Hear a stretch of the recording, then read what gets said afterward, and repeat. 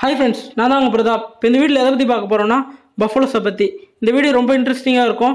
மறக்காமல் ஃபுல்லாக பாருங்கள் பஃபலோஸ் பஃபலோஸ்ன்றது ஒரு டிஃப்ரெண்ட்டான கேட்டில் பிரீட் இது எங்கே ஆரிஜினேட்டர்ஸ்னு பார்த்தீங்கன்னா இந்தியா தென்கிழக்கு ஆசியா மற்றும் சீனா போன்ற பகுதிகளில் இந்த பஃபலோஸ் ஆரிஜினேட்டர்ஸ்ன்றாங்க இதோட ஆன்சர் பார்த்தீங்கன்னா ஸ்டெப்பி பிசன் இது வந்து ஒன்பதாயிரம் வருஷத்துக்கு முன்னாடி அழுந்தனால இதோட வம்சாவளியில் வந்த வாட்டர் பஃபலோ தான் இப்போதைக்கு பஃபலோஸோட ஆன்சிஸ்டர்ன்றாங்க இந்த வாட்டர் பஃபலோவே டூ டைப்ஸாக பிரிக்கிறாங்க. ஒன்று வந்து ரிவர் ஸ்பேம் இந்த பஃபலோஸ் எப்படி அதாவது இந்தியா சைனா சவுத் ஈஸ்ட் ஏசியாவில் உரு உருவான பஃபலோ எப்படி உலகம் ஃபுல்லாக பரவுச்சுன்னு கேட்டிங்கன்னா two thousand five hundred BC அதாவது ரெண்டாயிரத்தி ஐநூறு வருஷத்துக்கு முன்னாடி இந்து சமவெளியிலிருந்து இந்த பஃபலோஸ் எங்கே கொண்டு போயிருக்காங்கன்னா மெசபட்டோமியாவுக்கு கொண்டு போயிருக்காங்க.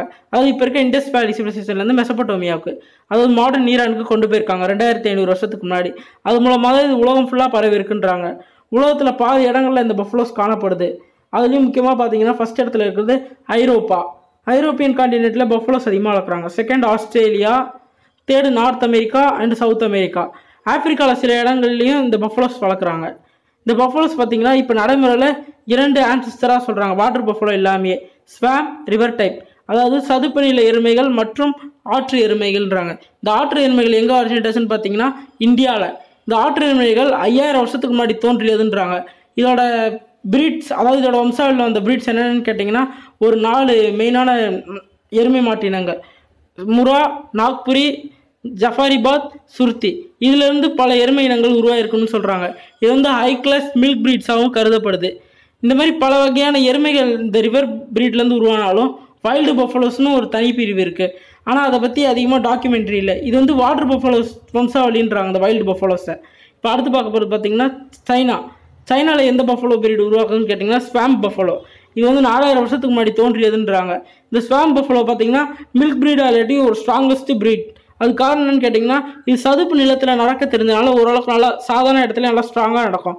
அதனால் இது ஒரு ஸ்ட்ராங்கஸ்ட் பிரீடுன்றாங்க இது எங்கே ஒரிஜினல் ஆச்சுன்னு பார்த்தீங்கன்னா சைனாவில் யாங்ஸி வேலி அப்புறம் சவுத் ஈஸ்ட் ஏசியா அப்புறம் இந்தியாவில் அசாம் இந்த மாதிரி இடத்துல இது வந்து காணப்படுதுன்றாங்க. அது மட்டும் இல்லாமல் இந்த ரிவர் பஃபலோக்கும் ஸ்வாம் பஃபலோக்கும் டிஃப்ரென்ஸ் என்னன்னு கேட்டிங்கன்னா இந்த ரிவர் பஃபலோக்கு வந்து ஃபேஸ் வந்து லாங்காக இருக்கும் வயிறு சின்னதாக இருக்கும். அதே போல் இந்த ரிவர் பஃபலோ பார்த்தீங்கன்னா கால் கொஞ்சம் பெருசு. இந்த ரிவர் பஃபலோட கொம்புகள் எப்படி இருக்குன்னு கேட்டிங்கன்னா டவுன்வர்ட் பேக்வர்ட் பொசிஷனில் இருக்கும். இப்போ ஸ்வாம் பஃபலோ இது வந்து நல்லா ஹெவி பாடியாக இருக்கும். பாடி வந்து ஷார்ட்டாக தான் இருக்கும். ஆனால் கொஞ்சம் ஹெவியாக இருக்கும் பார்க்கறதுக்கு ஸ்ட்ராங்காக இருக்க மாதிரி. இது வயிறு வயிற்று பகுதி கொஞ்சம் பெருசாக இருக்கும். ஹெட்டு வந்து ஃப்ளாட்டாக இருக்கும். ஏன் பஃபலோஸ் அதிகமாக சாப்பிடுதுன்னு கேட்டிங்கன்னா அதுக்கு ஒரு காரணம் இருக்குது அதாவது பிளான்ட்ஸில் வந்து அதிகமாக செல்லுலோஸ் இருக்கும்.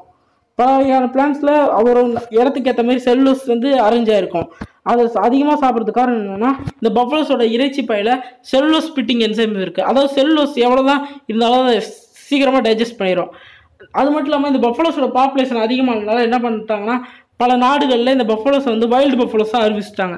அதாவது இது அதிகமாக சாப்பிட்றதுனால இதை வளர்க்க முடியாதவங்க என்ன பண்ணிட்டாங்கன்னா இதை அப்படியே காட்டிலே விட்டாங்க அதனால் ஈஸ்ட் ஆஃப்ரிக்காவில் இருக்க பாதி பஃபலோஸ் பார்த்தீங்கன்னா வைல்டு பஃபலோ ஈஸ்ட் ஆஃப்ரிக்கா மட்டும் இல்லாமல் பல நாடுகளில் அதிகமாக இருக்க உயிரினம் எதுன்னு பார்த்தீங்கன்னா பஃபலோஸ் தான்.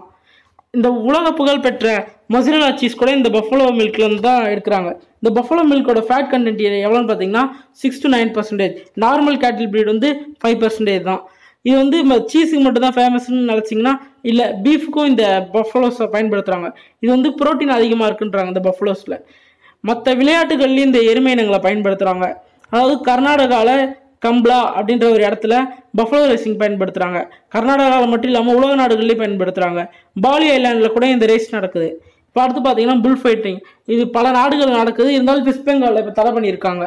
இப்போ அடுத்து பஃபலோஸை பற்றி ஒரு இன்ட்ரெஸ்ட் ஃபேக்ட்ஸ் வியட்நாம் மக்கள் என்ன பண்ணுவாங்களா இந்த மாதிரி யார்கிட்ட பஃபலோஸ் இருக்கோ அதாவது பஃபலோ எந்த ஃபார்மர் கிட்ட வருதோ அவர் குறிப்பிட்ட வருஷத்துலேயே ரிச் பீப்புள் ஆயிடுவார் சொல்கிறாங்க சரி பஃபலோஸை பற்றி இன்ட்ரெஸ்டிங்கான ஃபேக்ட்ஸ் பார்த்தாது சயின்டிஃபிக்காக யாராச்சும் பார்க்கலாம். பல மாட்டினங்கள் வந்து உருவாகிருக்கு நம்ம உலகத்தில். ஆனால் வந்து கிராஸ் ப்ரீட் வந்து எவ்வளவோ பண்ணியிருக்காங்க. அது நம்ம கவு ப்ரீட் பார்த்திங்கன்னா ஒன்றே ஒன்று தான் அதுலேருந்து தான் ஒரு சில குவாலிட்டியான நாட்டினங்கள் உருவாயிருக்கு. ஆனால் அதையும் ஹைப்ரிட் பண்ணி பெல்ஜியன் ப்ளூ சால்ஸ்டன் ஃப்ரீசியன் இந்த மாதிரி பல ஹைப்ரிட் இன மாடுகளை உருவாக்கியிருக்காங்க. ஆனால் பஃபலோஸில் பார்த்தீங்கன்னா அந்த மாதிரி ஹைப்ரிடை உருவாக்க முடியல. இது வரைக்கும் ஹைப்ரிட் பண்ணாத ஒரு விலங்கு எதுன்னு கேட்டிங்கன்னா பஃபலோஸ் இந்த வீடியோ இன்ட்ரெஸ்டிங்காக இருந்துச்சுன்னா லைக் பண்ணிடுங்க மறக்காமல் சப்ஸ்கிரைப் பண்ணிடுங்க